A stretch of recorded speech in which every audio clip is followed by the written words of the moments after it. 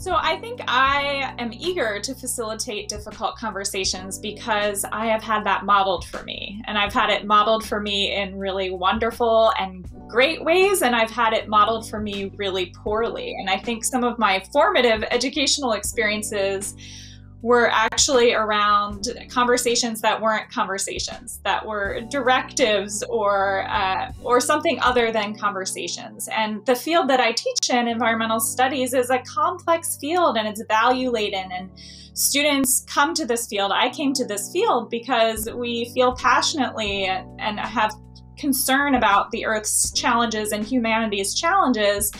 And it's hard to imagine engaging in that topical area without having difficult conversations. So I can think back on my time as an undergraduate student when I, I was majoring in engineering, which is very different from what I do now. And um, conversation is not something that happened in the engineering curriculum in the late 1990s. Hopefully, it is now.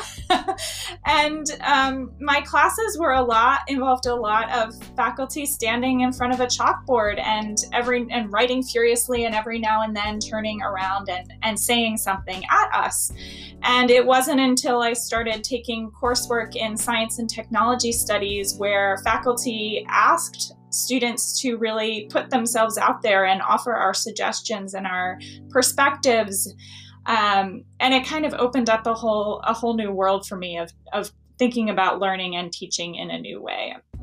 And so I try to bring that into my classrooms virtually and in person as a faculty member. I would say it's gotten easier over time, and largely that is because of my identity. Um, so that is true for the subject matter I teach too. So I teach largely about questions and concerns around environmental justice, so the intersections of race and class and gender and the environment. And, you know, I can stand up in front of a class and ask people these tough questions about how they engage with with race and and their own and ask them to reflect on their own identity and and because I am who I am and I look the way I look and I have tenure and you know I have all of these privileges conferred to me, those conversations are are not so difficult for me. Um, and I recognize that that is not something that all of my colleagues are able to do. Um, and so I, I, I try to keep that and hold that and hold on to the fact that that is what is sort of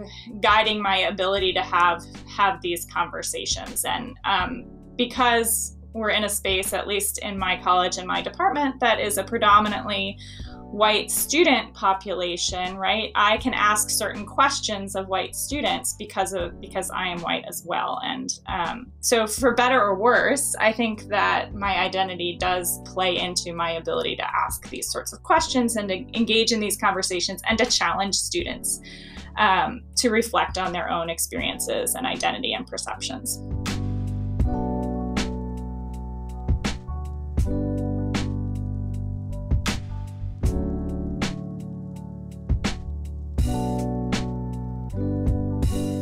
Most of my teaching and research surrounds the idea of environmental justice. And so, environmental justice has been a field of academic inquiry and also a social movement in the United States for a handful of decades now.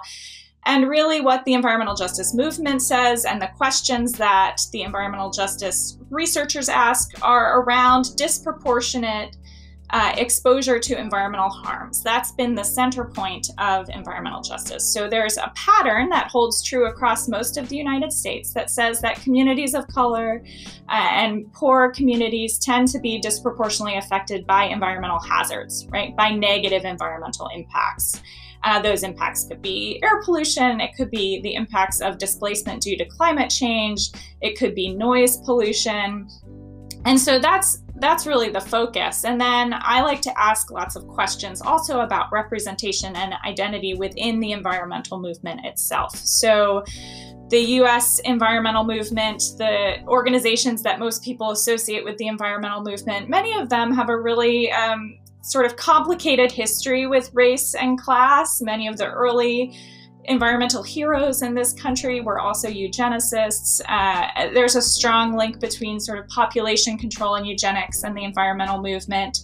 And those foundations infuse the way that environmental work is done today as well. So um, in my classes, we try to sort of tease that stuff apart.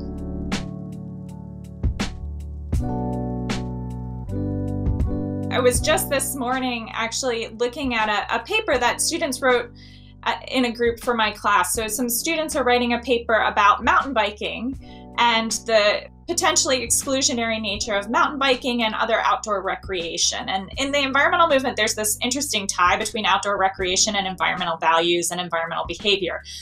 So they were interested as students who are not in, into the mountain biking culture to kind of explore that and, and imagine what that might feel like for a person who, you know, is is not able-bodied or who is a black woman or you know doesn't fit this archetypal mountain biker ideal or image that many folks have. And and so I was reading their paper and they're talking about the history of mountain biking.